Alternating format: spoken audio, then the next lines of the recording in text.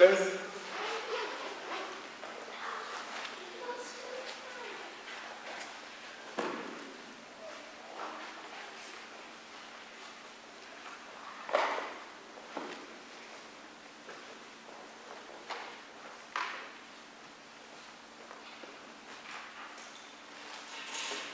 Soos ons uh wonderlik ek sien hier kom nog nog mense in terwyl hulle inkom vir my so wonderlik hoe die woord van die Here werk. Goeienaand broer. Goeienaand. Lekker om julle alkeen te sien. Maak my hart verskriklik opgewonde as ek elke persoon sien. Dan bevestig dit baie van dit wat die Gees van die Here my hart vir my mee gedeel het. Ek gaan net vir broer Niels hulle kans gee om in te kom. Alles is seker nou hier wees en dan sal ons begin. Terwyl hulle so sit, dan gaan ek vir elke persoon vra dat terwyl ek besig is dat jy in die hart soos die gees van die Here dit by jou opbring waarvoor ons nog moet bid. Terwyl jy luister en terwyl jy hoor die woord dat waarvoor moet ons nog bid. Ek gaan dalk 'n paar dingetjies noem, maar soos die Gees van die Here dit ook in jou bring, want Paulus het ook gehoor wat was die probleem? Wat was die sake waaraan aandag gegee moet word? En dan het Paulus gewoonlik teruggeskryf met 'n brief. En Paulus was nogal 'n redelike reguit man. Hy het nie baie gespeel nie. Hy het nogal reguit gesê dit wat in die gemeente wat hy sien en wat hy opmerk moet in die gemeente aangespreek word. En ek voel ook dat in my hart soos wat elkeen van ons hier is, ook sulke gedagte, sulke omgang in die hart van die Gees van die Here het wat in die gemeente ons voor kan bid. Daar moes sekerlik ergens in jou gedagtekamp en dalk het jy gepraat met mense, vriende oor iets wat jy opgemerk het. En weet jy, dis baie goed om iets op te merk. Iemand het eendag vir my gesê as 'n persoon wat ek gewerk het vir jou baie kritiek gee en nou het jy 'n baie kritiek gee, moenie daardie persoon noodwendig afskiet nie want daardie persoon wys vir jou foute in 'n mondering uit. En baie keer as jy by 'n nuwe werk begin, is dit 'n ou wat dalk nie so entoesiasties is dat jy daar begin het nie en dalk sy oog dalk self op die pos gehad het. Maar gee daai genoeg tyd om vir jou alles uit te wys. Hy gaan al die goedjies vir jou uitwys en jy gaan geleentheid hê om dit stelselmatig aan te spreek en te herstel. So dis baie keer goed om dit te hoor. Dit baie keer goed om daarop te reageer. So dit is net 'n gedagte wat ek in jou midde laat terwyl ons die woord gaan bedien. Kom ons sluit net die oë soos ons daar sit. Here baie baie dankie vir 'n voorreg, Here, om te kan bymekaar kom. Here, 'n voorreg om te kan bid, Here. Ja, Here, te kan bid as 'n groep bidders, Here, vir hierdie gemeente, maar nie net vir die gemeente nie, Here, vir 'n siel. Vir elke siel, Here, wat in ons hart opkom, vir elke siel wat ons opgemerk het, daar is fout. Here, soos die Gees ons lei, dat ons bid vir daardie siele, dat ons bid, Here, dat U vir ons sal wys wat daardie is wat U ook in Judas vir ons sê. Daar in Judas gesê word, ruk hulle uit. Here, hoe sal hulle uitgeruk word as die kerk en die liggaam nie meer ernstig is nie. Nie meer bid oor die woord nie, Here, nie meer ernstig is oor 'n siel, Here, wat tot bekering kom nie. Nie meer ernstig is oor 'n verlorene Here wat lou nie. Here, dit is ons wat vanaand hier is, my God. Vanaand hier bymekaar is, Here, om te bid. Te bid, Here, vir die liggaam, te bid, Here, my God, vir die herlewing en die opwekking van hierdie liggaam kragtadig, Here dat die openbaring van ons Here Jesus Christus in hierdie wêreld sigbaar sal wees. Dat elkeen sal kan sien ons dien 'n lewende God. Elkeen sal kan sê daardie Jesus waarvan ek gelees het in 'n Bybel daardie Jesus hy leef. Here dat dit vanaand so sal wees ook in hierdie bid hier om U te verheerlik, om op te rig, op te bou, te herstel die Here en ook Here my God wanneer nodig ons te vermaan en uit te wys wat is verkeerd. Dankie Here vir al hierdie geleenthede wat U ons gee wat ons nie altyd raak sien nie, maar vaskyk Here my God aan mense en getalle. Maar Here dat ons weet U is die een in beheer. U is die een by wie alles moontlik is. Ek prys U in daardie soete naam van ons Here Jesus Christus. Amen. Amen. Prys die Here. Broer en suster, ek het nie lank voorberei nie. Um Prof het vir my gevra om die betier te lei en ek het regtig baie min tyd gehad, maar tog het daar 'n woord al vanoggend in my hart opgekom en toe my vrou my geskakel het, toe sê ek vir haar, ek het 'n vermoede dat ek vanaand praat en uh, my vermoede was toe reg. En so wonderlik is die gees van die Here en ek glo dit het al met julle ook gebeur pastore en met jou ook daar dokter Dawie en ek glo ook so weet dit met elkeen af broer broer Niels waar jy net die oggend opstaan en jy begin iets in jou hart maak en die gees van die Here begin daarmee werk. Nou 'n gedeelte wat ek gaan lees is nie onbekend aan nie. Nee, dit is 'n gedeelte wat ons baie gelees het en wat in hierdie uur dalk miskien deur baie predikers en baie mense dalk miskien gedeel word. En dis daar in Daniël 9 U kan die Bybel blaai na Daniël 9 wat ons daar gaan lees van die gebed van Daniël en die 70 sewe dae die Messias. Ons gaan daardie gedeelte lees. Daniël 9 Dis daar in die Groot Bybel op bladsy 1122. When I tell this to my grade 5s, they don't know, they think 1,122 are a lot. It's actually for them bigger than a million. So ja, maar 1122. Wanneer ons daardie gaan lees, wil ek hê jy moet iets opmerk in daardie gedeelte ten opsigte van wat het vooraf gegaan en waarvoor is gebid. Wat het vooraf gegaan en waarvoor is gebid. Ek lees daar van vers 1 af. In die eerste jaar van Darius, die seun van Alferos uit die geslag van Medes wat koning gemaak was oor die koninkryk van die Galdeërs, in die eerste jaar van sy regering het ek, Daniël, in die boeke gemerk dat die getal jare waarvoor die woord van die Here tot die profeet Jeremia gekom het met betrekking tot die pynhope van Jerusalem 70 volle jare was. En ek het my aangesig tot die Here God gerig om met vas en in rou kleed en as my aangebed en smeking te wy. En ek het tot die Here my God gebid en belydenis gedoen en gesê: Ag Here, groote en gedigte God, wat die verbond en die goedertierendheid hou vir die wat hom liefhet en sy gebooie onderhou Ons het gesondag en verkeerd gedoen en goddeloos gehandel en in opstand gekom en van 'n gebooie en verordeninge afgewyk. Ons het nie geluister na u knegte die profete wat in u naam gespreek het tot ons konings, ons owerstes en ons vaders en tot die hele volk van die land nie.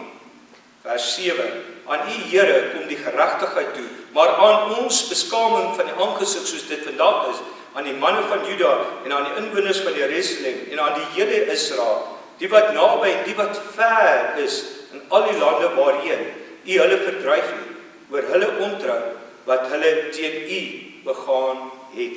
Net tot sover kan ons lees. Jy kan daardie gedeelte self ook verder gaan lees. En dan wil ek net vers 17 byvoeg. Hoor dan nou ons God na die gebed van die knegt en na sy smeking en laat ter wille van die Here die aangesig skyn oor u heiligdom wat woes lê. Ek wil daardie weer lees. Hoor dan nou ons God na die gebed van u knegt en na sy smeking en later wille van die Here u aangesig skyn oor die heiligdom wat woes lê. Ons het in 2019 die 11de Oktober het ons hierdie gedeelte was dit een van die gedeeltes wat ons ontvang het hier van die kansel af. Ek het dit ook so aangeteken in my Bybel. En wat wonderlik is, ek het nou lees, kom dit net weer in herinnering dat alreeds in 2019 het die Here vir ons gewys dat ons as 'n gemeente moet bid. Dat ons as 'n gemeente moet verwag dat gaan 'n tyd kom waar dit moeilik gaan raak om dit te doen. Ons het verlede week Woensdag 'n wonderlike woord gehad waarin vir ons vertel is van die erns wat ons moet maak met God. Die erns wat ons met God moet hê. Daardie erns. Broer en suster, dit is. Is daardie erns ook vanaand in ons? Is daardie erns regtige erns om te bid vir siele? Ek praat met my dogter op pad hiernatoe en ek sê ons wil bid om die kerk vol te kry. Is dit waarvoor ons moet bid? Of moet ons nie dalk bid vir siele wat sal kom, wat die gees van die Here trek en wat die gees van die Here sien? Daardie persone is wat uitverkies is wat die woord gaan neem. Moet ons nie bid vir sulke siele nie. Moet ons nie bid vir 'n siel wat verlore geraak het nie. Jesus sê, sal ek nie die 99 los en daardie een gaan haal nie. Wat doen ons? Ons sien die 99 en ons sien nie die een nie. Ons sien die 99. En dat terwyl ons daai 99 sien, begin daai 99 ook minder word. En dan wil ons weer daai 99 terug hê. Maar ons het nooit gesien die eerste keer toe daar gesteel is nie. Ons het nie opgemerk toe daar die eerste keer vir ons gewys is. Hier gaan dit plaasvind. Is ons nou in rep en roer oor die feit wat ons sien besig is om ons te gebeur? Is ons tom dalk, miskien vir myself, dalk 'n bietjie los oor die feit van wat ons opmerk? Of is ons dalk soos 'n Daniël wat nie geluister het na wat al hierdie mense gesê het nie, maar wat opgemerk het wat staan in die woord geskryf? En daai is in Jeremia, is dit opgeteken. Ek gaan dit net vir u lees. U kan so toe blaai as u wil. Maar in Jeremia 25 is daardie vir ons opgeteken. Daardie belofte. Daar in vers 12. En as 70 jaar vol is, sal ek ook die koning van Babel en oor die nasie spreek. Die Here hulle ongeregtigheid laat uitwys en dat hulle sal terugkeer en dat hulle uit die ballingskap uit verwyder sal word. En dit is geprofeteer deur hom. So is daar ook deur Jesus gesê as jy hierdie teken sien, as jy hierdie goed begin opmerk, wat staan ons te doen?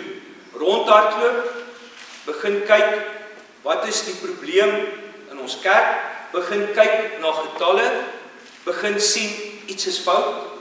Iets is fout wat ek sê. Waarna begin ons kyk?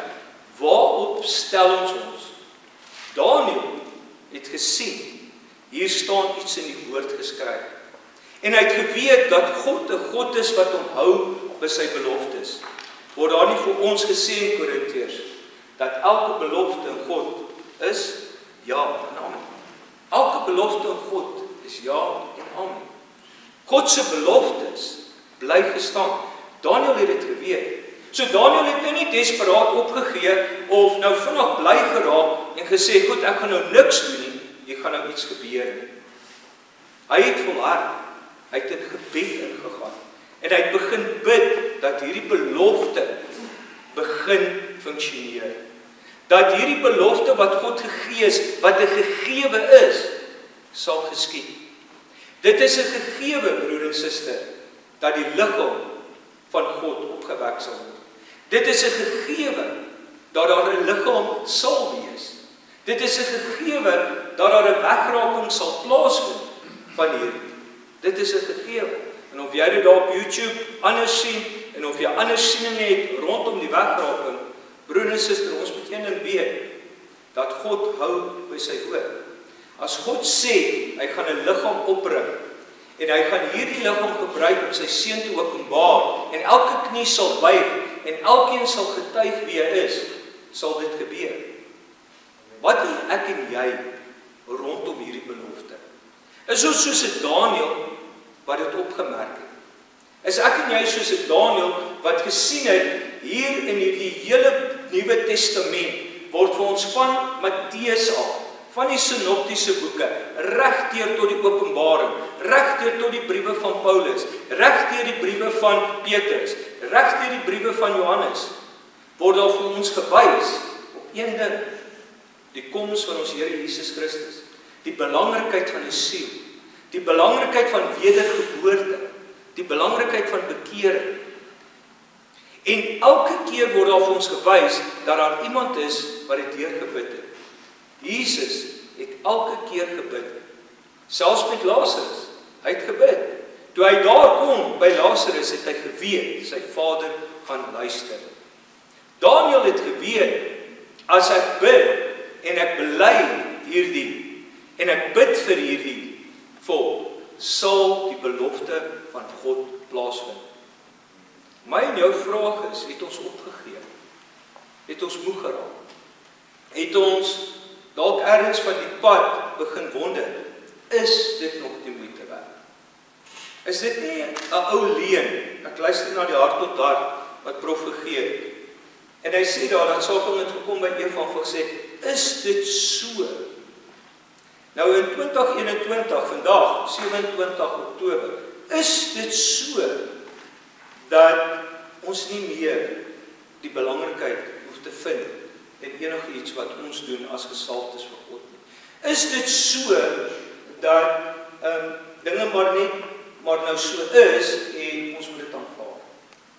Of moet ons soos 'n Daniël gaan en gaan kyk wat staan in die skrif? Want hy staan, daar staan geskrywe aan sy gesaltes sal hy bekend maak. Dawid skryf met my gesaltes nie aanraak nie.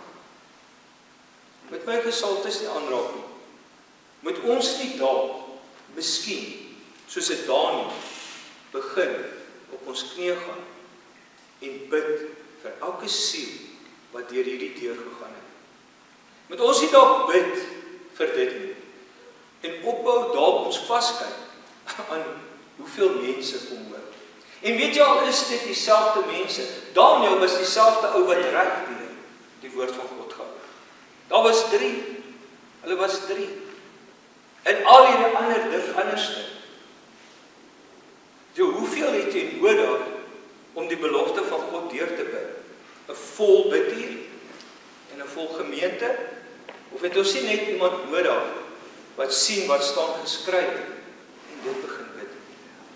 Moet ons nie dalk soos wat ons hoor die woord van God in ons laat lewe en wanneer ons praat is dit die woord van God. Wanneer hierdie boek nie meer hier is en jy praat, dan is dit die woord van God. Dan is dit die woord van God. Hoeveel keer het jy nie gestaan by 'n plek en jy weet nie wat om te sê nie en die volgende oomblik kom hierdie woorde by jou op. En as jy na die tyd wegloop en sê jy dankie Here. Want dit het vir my al gebeur. Ek het dit nie uitgedink nie. Dit het gebeur omdat die woord van God die een is wat die hoogste gesag dra. Nie my sien, nie my uitkyk nie, nie my manier van dit sê en doen nie. Ons het gehoor van daardie prediker wat praat en op sy bors slaan en sê I am God. Verskriklik. Verskriklik wanneer jy begin jouself bo die woord stel wanneer alles wat gedoen moet word raak gesien word.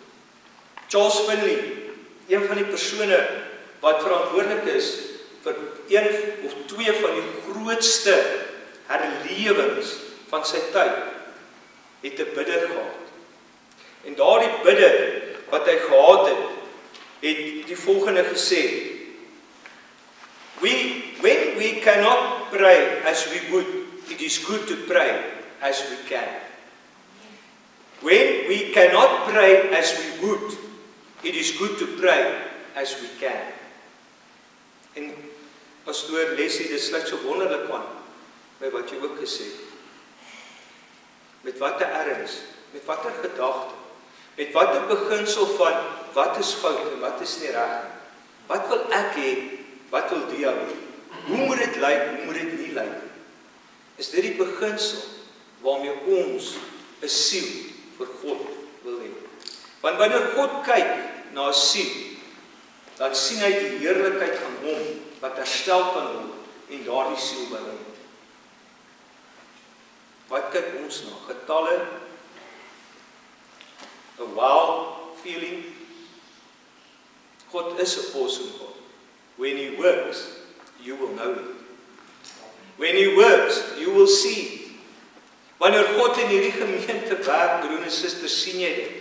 Wanneer God praat, praat hy. Ek het al daar gestaan. Ek sê Here, ek sal nie my mond oopmaak nie. Dan maak die Here my mond oop. Kom die Satan en vertel hy, "Waarom het jy gepraat?" Is dit so dat jy moes praat? Dit is so. Jy moes praat. Want wanneer God praat, wie keer hom? Wanneer God iets in hierdie gemeente doen, wie gaan hom keer? Maar broer en suster, ek moet jy moet soos 'n Daniël wees. Ons moet opmerk wat is besig om te gebeur. Die Satan het gekom om te verslind en te verwoes. Ek het gekom om julle te gee vrede, genade en oorvloed. Johannes 10:10. 10. Gaan lees dit. En as ons om ons kyk, het hy verslind. Verseker, hy het 'n paar uitmekaar uitgetrek. Daar lê vanaand 'n paar mense in wonder. Hoe gaan ek weer dit terugkry wat ek gehad het 2 jaar terug, 2019 hier? Hoe gaan ek dit terugkry? Hoekom kom A, B, C en D nie? Het A, B en C se siel nie skade gekry nie? Het hy wat die vyand is nie verwoes en verslind? Paulus sê ek wil nie hê julle moet onbekend wees met die dinge van Satan. Maar hoe lyk dit of in 2021 ons onbekend geraak het? En maar net gesê, ag dit is maar so. En Satan verwoes. Hy speel nie. Hy's nie in hierdie game omdat hy weet hy klaar verloor nie. Hy's in met alles. He will give it everything he's got. Wat doen ons? Vind dit moeite? Vind dit moeilik om te bid? Moet ons nie net soos Daniël sien wat staan in die woord en bid. Bid vir daardie herlewing. Bid vir daardie herskepping. Ek lees van hierdie Charles Finley hoe hy na plekke toe gegaan het en dan wanneer hy by daai plekke gekom het was die eerste ding wat hy gedoen het deurbid. Indien dit het hy voor die tyd gestuur. Het hy voor die tyd gestuur dat daar gebid word. Met die tweede ehm uh, herlewing wat plaasgevind het daar in 1790 het hy wil hy nie gegaan het na hierdie plek toe. Sy eie mens wees het hom gesê it's not worth it to go like to a small town like that. Uh, it's not worth it. It's not worth to go there in that small town in Tennessee. Not worth it to go there. En die gees van die Here kom tot hom en hy sê vir hom jy sal gaan. En die grootste herlewing breek daar in Amerika uit in daardie gedeelte. Een van die grootste herlewings. Charles Finney het gemerk dat hy moet bid. Charles Finney het gemerk dat ek moet doen wat die woord van God sê. Not my feeling, nie my gevoel nie, nie my gedagte nie. Nie my afleiding van hoe 'n bidtier moet wees nie. Wat in 'n bidtier maar moet plaasvind. Wat moet in 'n bidtier plaasvind? Gebed, broer en suster. Gebed. Ons is hier om te bid. Ons is hier om te bid dat God sal werk. En wanneer God begin werk, hoekom is ons dan partykeer verbaas dat God op die manier werk wat God werk? Dan dink ons, ja. Kon God regtig nou met is dit nou regtig die opkoms? Is dit nou regtig hoe die mense geluister het? Hoe werk God dan? Luister hy nou na mense, werk hy op gevoel van mense want as Jesus aan die kruis gesterf het vir gevoel, dan het ons 'n probleem gehad. Hy het die wil van sy Vader gedoen. In die tuin van Getsemane het hy sy wil oorgegee. Hy het gebid dat die wil van sy Vader geskied. Jesus leer sy disippels, ons Vader wat in die hemel is, laat U geheilig word, laat U koninkryk kom, laat U wil geskied soos in die hemel so op die aarde. Nou wanneer ons bid dat God se wil geskied, hoekom wonder ons as God met twee mense werk of met een ou of 'n onbekende ou en ons wonder hoekom gebeur dit? Het ons dan nie gebid laat U wil geskied? Of het ek eintlik 'n gedagte gehad van hoe God moet werk? Daniël het dadelik agtergekom hierdie profete praat anders. That which they are telling is not the same. Dit klink nie soos wat Jeremia gesê het. Dit klink nie soos wat 'n gesalfde dit ontvang het nie. Dit klink anders. En hy het dadelik agtergekom hier's fout. Hierdie gaan God vir ons gee, maar ons moet bid. Broer en suster, God sal die herlewing en die werking wat hy hier begin het, sal God volbring. Amen. Maar ons moet volhard. Dis nie maklik om op 'n Woensdag hier na toe te ry nie. Ek is ook moeg. Partykeer is dit vir my moeilik. En partykeer dink mense dalk en ek het myself gevra of gevra, is dit maar 'n gewoonte of moet mense maar net sien nou Janie is hier. Hy is daar nie. Hy is daar nie. Tjoe, is daar nie 'n bad room nie, hy is daar nie. Of doen ek dit regtig? Want ek bid vir sy nou praat vanaand met myself, broer en suster.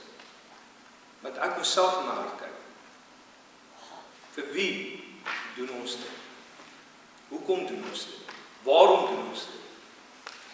Wat wil ons hê God moet doen?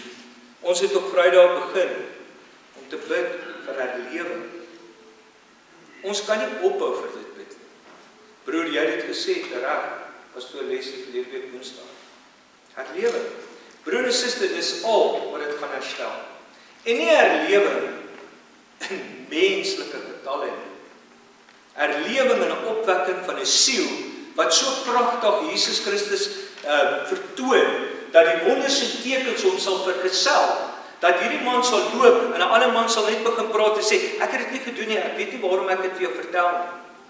Dat 'n mens net eenvoudig gaan en hy begin sy bekering sy hele sy hele sonde alles maak aan jou bekend. Ek het gesit waar 'n vrou dit gedoen het. Sy het net ek glo nie sy was bewus. Nie en dit was nie ek die gees van die Here word vir ons gesê in Johannes.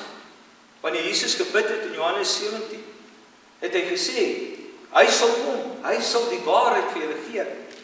Hy sal julle vertel. Wanneer daai gees gaan dit oor die siel.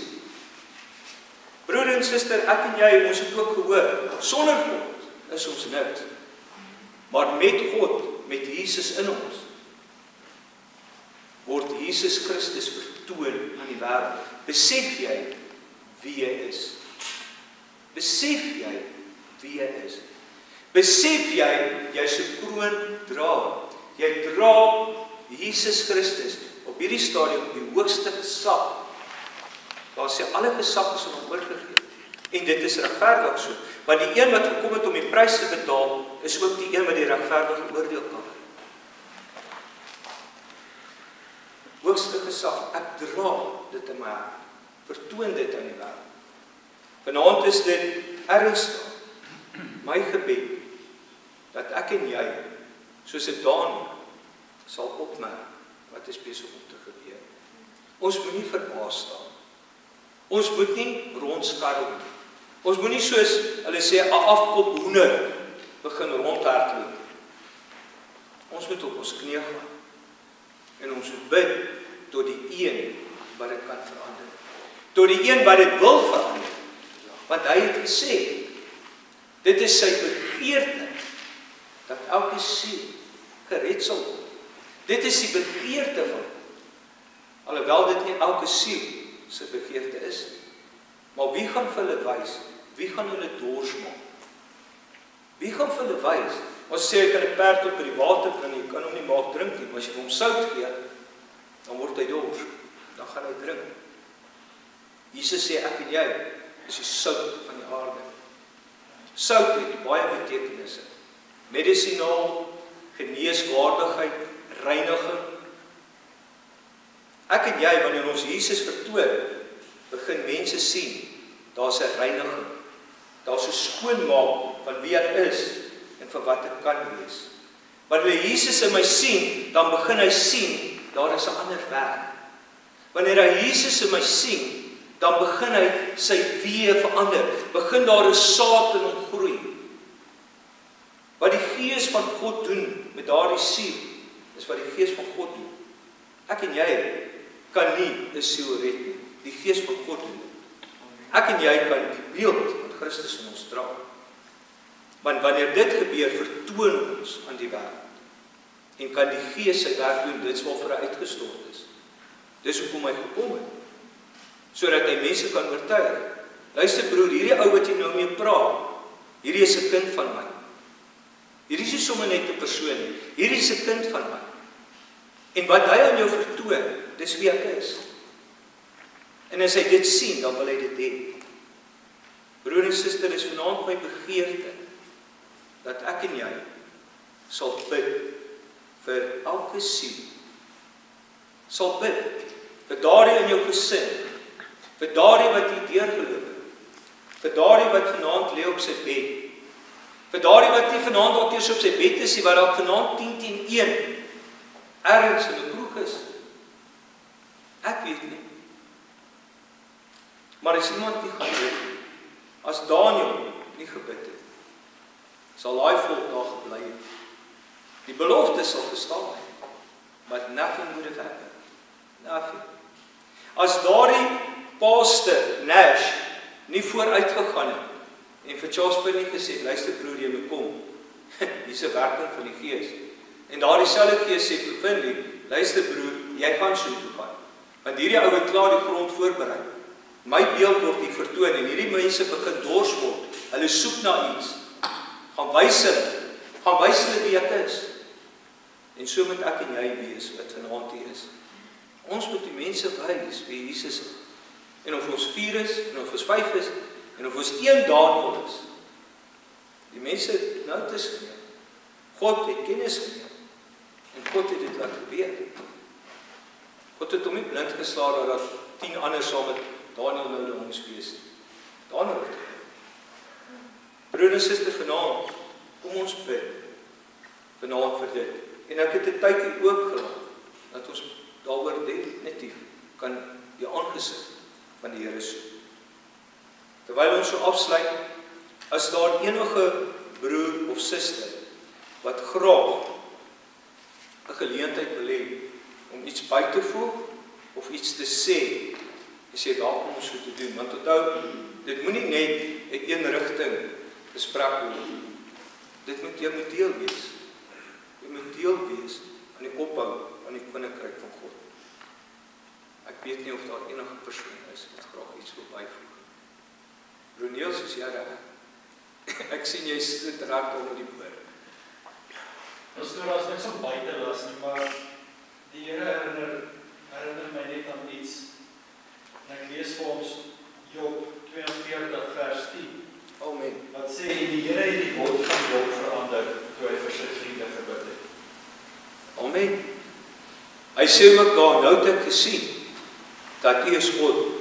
Ek het my oor uitgeleen aan die wêreld, maar ek het agtergekom ek moet vir U luister. Prys die Here. Pastoor Dr. Dawie is jy reg? Pastoor Leslie? Ja, miskien kan ek maar iets sê. Dankie pastoor. Terwyl ek so sit en ek luister kom die woord van die Here en hy sê vir my in Jeremia 29 die die 13de vers. Amen. Hy sê julle sal my soek en my vind as julle na my vra met julle hele hart. En dit is weer waar die woord ernstig inkom. En wat se erns het ons kom bid? Amen. Het ons kom bid om om om wil ek nou die regte woord kies. En wat se motief het ons kom bid? Amen. Ek meen Daniel was opmerksaam. Ja. Is ons opmerksaam? Dis die vraag. Ja. En ons na God toe gaan, ons vanaand met ons hele hart na hom vra en hy sal ons antwoord gee. Amen. Amen. Ook die eerste gebod, om die Here jou God lief hê met jou hele al jou krag en jou hele verstand. Wanneer ek God nader, moet dit met my volle hart wees. Met my volle hart, met 'n oortuiging dat wanneer God my hart op my Hiskel draai na die muur. En hy bid ernstig en God draai daai profeet in sy spore op sê vir hom gaan terug. Sê vir jou ou gaan jou lewe verleng. En Hiskel met daardie oop hart sê nee ek wil 'n teken ook hê. En die Here gee hom vir 'n teken ook dat dit sal gebeur.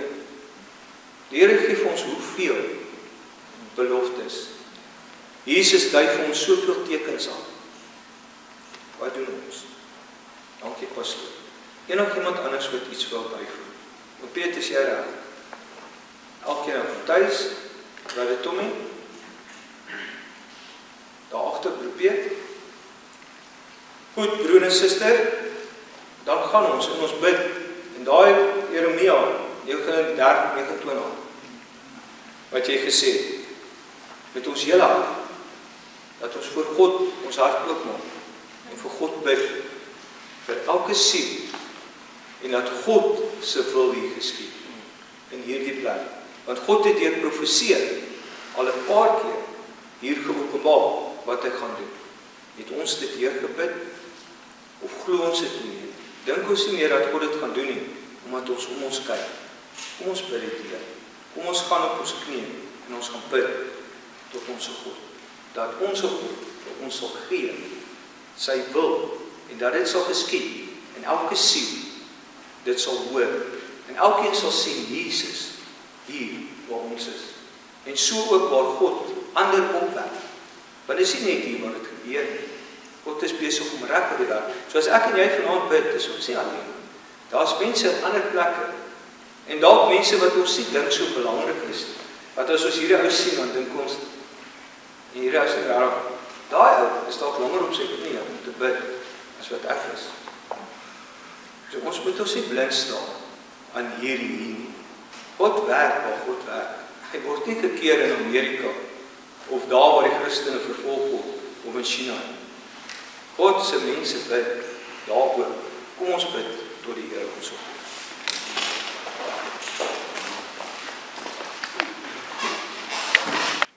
Broers en susters, ek wil nie eens opstaan nie. Partykeer dink ek, mense bid dit net en net bly bid.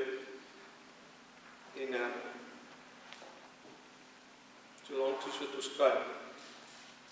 Broer en suster, moet jouself nie nietig mag nie. God het elke keer uitgewys, selfs toe hy die eerste koning aangewys het wat weggekruip het, gesê het nee, dis daardie een. 'n Jong seun gesê het nee, dis daardie een. As ek en jy moes gekies het wie ons baie keer as 'n leier wil hê, dan is daar sekere eienskappe. Maar God kyk na die hart.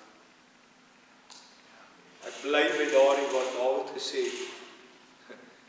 Jy kom na my met jou swaard met hierdie woorde wat jy sê, maar ek kom na jou toe in die naam van my Here, van my God. Daardie een wat jy beledig Daardie jy dink is niks, ek kom in jou daardie naam. En 'n klein jong seun slaan 'n reus wat magtig vertoon het. Wat ek en jy so voorgestoot het as die gevaar kom. Ja, hierdie ou gaan ons help. God werk nie so nie. God werk met die wat hom aanroep en dien in gees en in waarheid. Dis met wie. Dat dit vanaand so wees. Dankie broer en suster vir die elkeen. Dankie dat u geluister het en gehoor het en bid dit deur en bid vir mekaar. Ons moet vir mekaar bid. Ons moet vir mekaar bid. Ons moet gereeld vir mekaar bid. Noem mekaar by die naam, dra mekaar op aan die Here. En jou getrouheid en jou hart aan God sal God beloon. Amen. God sal dit beloon. God is 'n beloner van die wat na sy woord soek. God beloon dit. Broer en suster, baie dankie vir elkeen wat gekom het. Ek wil vra vir dokter Dawie om vir ons af te sluit. Hy het miskien geweet ek gaan hom vra dat hy vir ons afsluit en dan gaan ons in vrede en hierdie gebed het nie opgehou. Bly bid. En elke keer wanneer ons 'n opdrag kry soos verlede week om te bid oor die erns. My broer, daai het my gebly. Dit het by my gebly. Want ek het myself die hele tyd gevra. Is ek nie een van daai ouens wat dalk dit doen? Is daar 'n erns met God? Dokter Nawie, as jy vir ons afsluit asseblief. Baie dankie. Ons staan.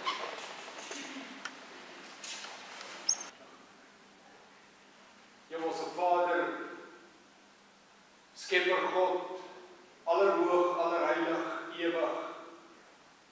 O my God in die naam, o alle name in die naam van Jesus Christus. Ja, amen. Here ons bid en vra vanaand tot ons God dat U wil sal geskied. Amen. Ja, amen. Dat die naam van Jesus Christus in hierdie tyd en uur openbaar sal word deur U kerk soos nog nooit tevore nie. Ja, nee, Here. dat die herlewing rondom die waarheid en die weg en die lewe Jesus Christus my God Here oor hierdie aarde sal uitstort die heerlikheid van die Allerhoogste soos nog nooit tevore nie. Dat die elke klein gebed beantwoord en dat die eenvoudige boodskap die boodskap dat Jesus Christus is die seun van God. Ja, Hy is die redder, die verlosser, die saligmaker, die erekoning. Hy is die hoofpriester, hy is die middelaar. Hy is die weg, hy is die waarheid, hy is die lewe, die enigste manier na God ons Vader. Bid vir herlewing van waarheid van u woord. Dankie, Here dat die woord van God weer gespreek sal word deur manne en vroue wat u terug, wat u sal in hierdie uur in hierdie tyd. O Here dat die lewende water sal vloei, dat die lewende water sal loop my God soos nog nooit nie. O Here dat dit sal geskied tot u eer, tot u verheerliking en u alleen. Ons haal ons oë vanaand af van die mens. Ons haal ons oë vanaand af, Here, van wat ook al ons dink moet gebeur. Daar is en sal net een boodskap bly en dit is die geliefde seun, ons Here, ons God. En ek bid vir die oplewing, die herlewing van die naam van Jesus Christus. Ek bid vanaand my God dat daardie naam weer 'n verlange in die hart van die mens sal wees. Dat daardie naam, die naam van die verlosser van die wêreld, die verlosser, die seun van 'n lewende God weer in die mens, Here dat daar begeerte sal wees, 'n soeke sal wees en 'n diep verlange in elke man en vrou, elke seun en dogter van God en selfs hulle wat hom verwerp, selfs hulle Here wat God teen hom rebelleer, selfs hulle wat in hierdie tyd en uur van die bande van die woord van God af wil loskom. O ons bid vir die vir die vernuwing, ons bid vir die verlossing, ons bid vir die herstel van die woord van God in die naam Jesus Christus ons Here. My Skepper God, ons vra vir een openbaring. Net een openbaring. En dit is openbaar u seun aan die kerk, aan die gemeente en aan die wêreld in hierdie land. Here soos dit u behaag. Amen. Laat die wil van God in die werking van die Gees van die Here Here alleen die werking wees. Ja, Amen. Here dat ons sal stil wees en weet U is God. Dat ons sal stil wees en weet Here dat U in hierdie tyd en hierdie uur bepaal. Dis U tyd. Ja, Dis ons God se tyd. Amen. In U naam en tot U glorie, en U glorie alleen. In Jesus Christus naam. Bid hierdie manne vanaand en vroue. Ja, Bid hulle in eenheid. Maak hulle een met mekaar vanaand. Dat hulle mekaar sal voortgaan in eerbetoning en gebed, Here. Here dat die ywer tot gebed en die ywer tot mekaar en die ywer tot ons God, Here weer opvlam. van 'n lewende gees van God, Amen. Here, in Amen. elkeen sal brand Ja, en dat Here. hierdie weer die huis van gebed sal word. Here. Dat die huis van gebed wat U het gesê, moenie van my huis 'n handelshuis Ja, maak, halleluja. maar dat die nasies byeen sal kom in gebed, Here. Ja. Die huis van gebed. Amen. Dis wat U huis is. Ja, Here dat ons sal bid die wil van God, die leiding van die Gees van die Here, Here. En ons bid dit in Jesus Christus naam. Ja. Ons bid vir een openbaring. Mag ons vir die res van die week bid vir daardie openbaring. Here, U het gesê, julle sal die werke doen wat ek gedoen het en groter werke as dit. Amen. My God, en ons kan dit net doen as Jesus Christus die openbaring is. Amen. Ons prys U daarvoor. Dankie, Here. Vader, in die eerste gemeente, toe Jesus die openbaring Halleluja. was, het U Amen. saamgewerk. U het by die gemeente gevoeg.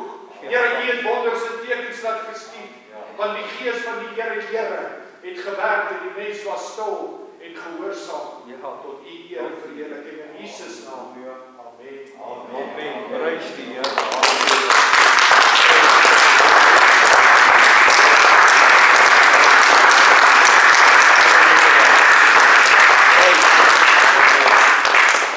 Sy broer en suster gaan in vrede en love mekaar en bid vir mekaar. Amen.